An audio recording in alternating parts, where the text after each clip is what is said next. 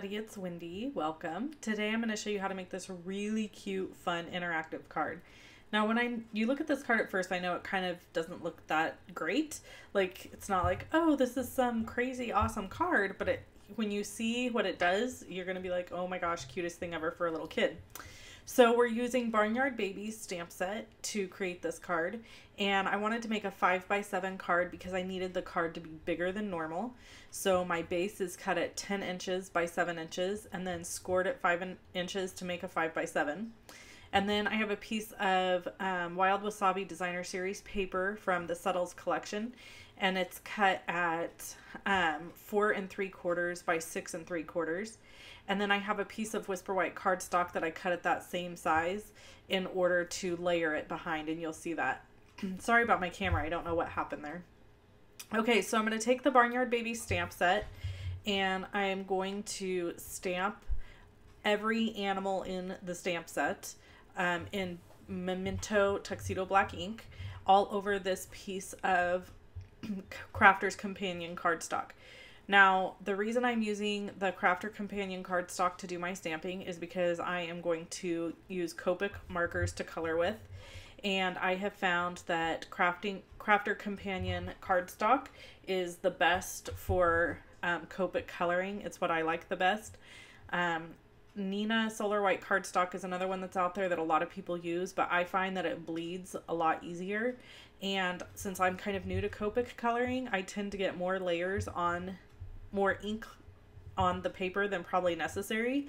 And so that causes my stuff to bleed probably more than an experienced Copic color. So that's a little tip for you if you're um, into Copics. So I'm just continuing to stamp all of my little animals on my um, sheet here and get them all positioned. And then once I get them all stamped, um, I am going to punch them out. Now, I, well, first I'm going to color them. so I take that back. First, I'm going to color them. Um, but after I color them, I'm going to punch them out using circles. So real quick, I want to just share, I use pretty much every single circle punch that Stampin' Up! sells. And we are retiring a couple of circle punches. So um, you can look on my blog to see the circle punches that I use to punch these out.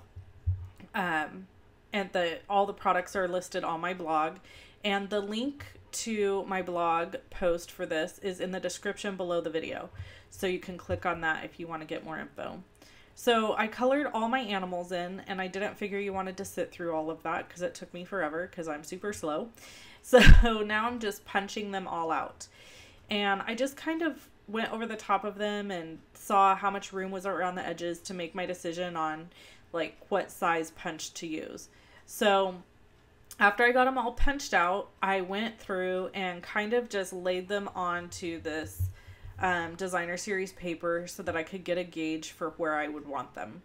Now, I have to say that they don't end up quite the same arrangement, but um, I really, really love how the little animals look on the green background because it's kind of like they're standing in grass or they're laying in grass.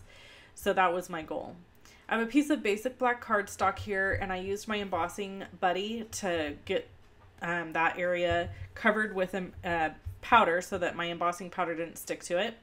And then I heat embossed this with my heat tool and now I'm just using a little terry cloth towel, a microfiber cloth actually, to rub away that powder so that it's not all powdery and I'm just gonna hand cut out the sentiment. This happy birthday sentiment is from the same stamp set. I only use one stamp set for this card.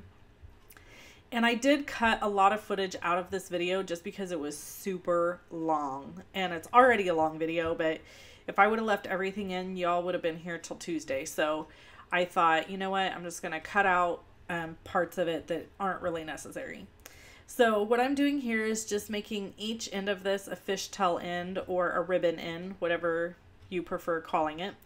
And I'm doing that with my paper snips. By the way, if you don't have a pair of um, Stampin' Up! paper snips, you should totally get them. They're 10 bucks and they're the best scissor you'll ever use in your life. Absolutely love them. So now I am going to, I have a bunch of embossing powder on my table. I spilled, so that's why you keep seeing me move stuff and, and wipe.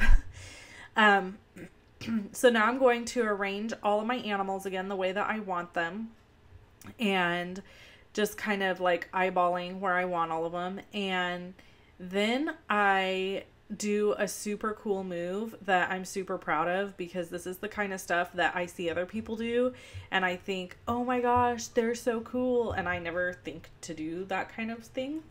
So, the first thing I did is I took my black Copic marker and I ran ran um, it around the edges of the of the punches because I don't know, the it looked like it needed something else, but I did not want to add another layer of paper because of what I'm doing. But here's the part where I'm like, I'm so cool.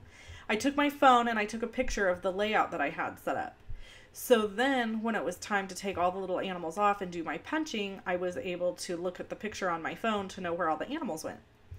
So I'm removing the little animal before I punch and I punched all those holes and now I'm adding brads and through the hole and now these little guys will spin so this here I'm doing for the little duck and the little chick.